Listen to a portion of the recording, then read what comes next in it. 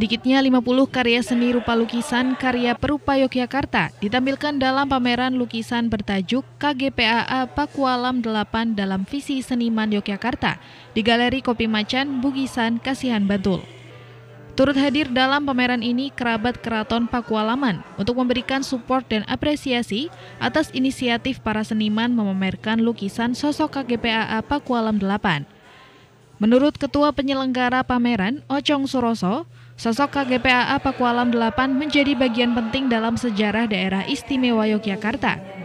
Sosok KGPAA Pakualam 8 telah dipilih menjadi objek lukisan merupakan hasil kegiatan on the spot sebelumnya yang diikuti 50 perupa di DIY dan salah satunya perupa dari DKI Jakarta.